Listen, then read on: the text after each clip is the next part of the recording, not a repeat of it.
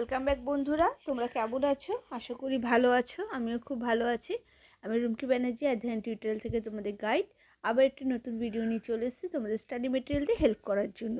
তো আজকে আমি তোমাদের ক্যালকাটা ইউনিভার্সিটির যাদের সাধারণ বাংলা আছে সেমিস্টার থ্রির জন্য সেক A two A two thousand twenty টোয়েন্টির কোয়েশ্চেন পেপারটা নিয়ে এসেছি। সেক হচ্ছে তোমাদের স্কিল এনহেন্সমেন্ট কোর্সের এ টু পেপার যেটা আছে, সেটা কোশ্চেনটা তো চলো দেখে নাও। এক নম্বরটা দেখো।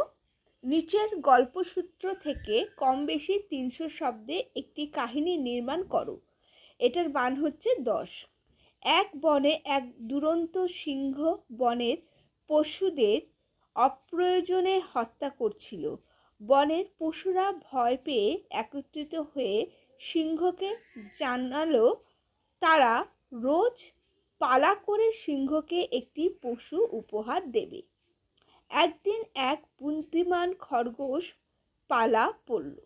সে দেরিতে সিংহের গুহায় গিয়ে জানালো, আরেক সিংহ রাস্তায় তার পথ আটকে দেরি করিয়ে দিয়েছে।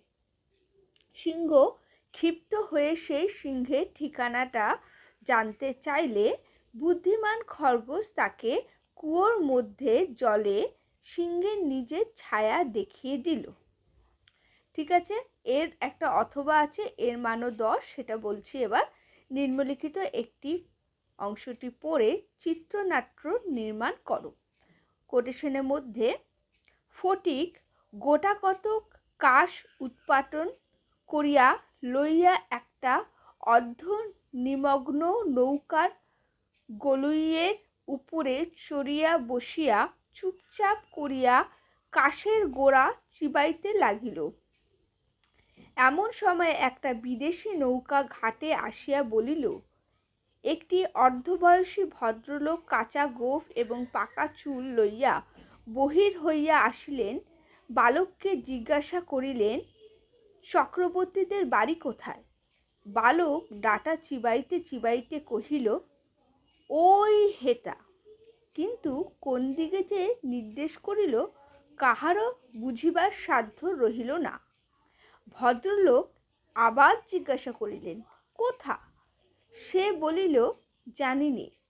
বাবুটি তখন অন্য লোকের সাহায্য অবলম্বন করিয়া চক্রবর্তীদের গৃহের সন্ধানে চলিলেন।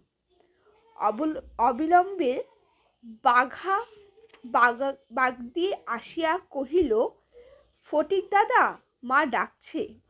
ফটিক কহিল, যাব না। ফটিককে দেখিবা মাত্র তাহার মা অগ্নিমূর্তি হইয়া কহিলেন, আবার তুই মাখনকে মেরেছিস? ফটিক কহিল, না, মারিনি। ফের মিথ্যে কথা বলছিস? কখনো মারিনি। মাখনকে জিজ্ঞাসা করো মাখনকে প্রশ্ন করতে মাখন, আপনার পূর্ব নালিশের সমর্থন করিয়া বলিল হ্যাঁ মেরেছে তখন আর ফটিকের সহ্য হইল না। দ্রুত গিয়া মাখনকে এক সশব্দ চর কষাইয়া দিয়া কহিল, ফের মিথ্যে কথা ফটিক মাকে ঠেলিয়া দিল। মা চিৎকার করিয়া কহিলেন, এই, তুই আমার গায়ে হাত তুলছিস? এমন সময় সেই কাঁচা পাকা বাবুটি ঘরে ঢুকিয়া বলিলেন, কি হচ্ছে তোমাদের? ফটিকের মা বিস্ময়ে আনন্দে অভিভূত হইয়া কহিলেন, ও মা এই যে দাদা, তুমি কবে এলে বলিয়া গড় করিয়া প্রণাম করিলেন? এবার দু নম্বর প্রশ্নে যাচ্ছি। দুয়ের ক, আবৃত্তি চর্চার মূল সূত্রগুলি সম্বন্ধে সংক্ষেপে আলোচনা করো। মান দশ অথবা খ কলাবৃত্ত বা ধ্বনি প্রধান ছন্দের বৈশিষ্ট্যগুলি উদাহরণ সহযোগে আলোচনা করো। এরও মান দশ। তিন নম্বর প্রশ্নে যাচ্ছি, ক, সাহিত্য ও চলচ্চিত্রের সাদৃশ্য ও বৈসাদৃশ্যগুলি সম্পর্কে সংক্ষেপে আলোচনা করো। খ, অথবা খ, বিভূতিভূষণ বন্দ্যোপাধ্যায়ের পথের পাঁচালীর উপন্যাসটির সঙ্গে সত্যজিৎ রায়ের পথের পাঁচালীর চরিত্রের সংক্ষেপে একটি তুলনামূলক পর্যালোচনা করো। এগুলির মান সব দশ করে এবার চার নম্বরে যাচ্ছি, যে কোনো ছয়টি প্রশ্নের উত্তর দাও। এখানে কিন্তু মান হচ্ছে পাঁচ। ক, দলবৃত্ত ছন্দের বৈশিষ্ট্যগুলি উদাহরণসহ আলোচনা করো। খ, টিকা লেখো, পর্ব, জ্যোতি। গ, বাড়ি থেকে পালিয়ে চলচ্চিত্রের মিনি ও সুনীলের মা চরিত্রে দুটির ভূমিকা আলোচনা করো। ঘ, টিকা লেখো, আবৃত্তিতে আলো ও আবহ সঙ্গীতের ব্যবহার। উম টিকা লেখো নাট্যরূপে মঞ্চ নির্দেশ চ।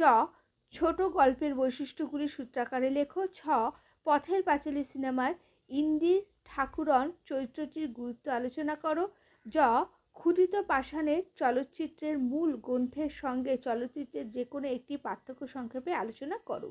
পাঁচ নম্বরে যাচ্ছি, সংক্ষেপে সংক্ষেপে পূর্ণ বাক্য উত্তর দাও। প্রত্যেকটি মান হচ্ছে গিয়ে এখানে কুড়িখানা প্রশ্ন আছে তোমাদের প্রত্যেকটি এক মানের। ক, পথের পাঁচালী চলচ্চিত্রের মুক্তি কোন খ্রিস্টাব্দে খ, শরৎচন্দ্রের উপন্যাস নিয়ে চলচ্চিত্র নির্মিত হয়েছে? এরকম একটি উপন্যাসের নাম লেখো। গ, বাংলাদেশের পূর্ণাঙ্গ নির্বাক নির্বাক ছবি কোনটি?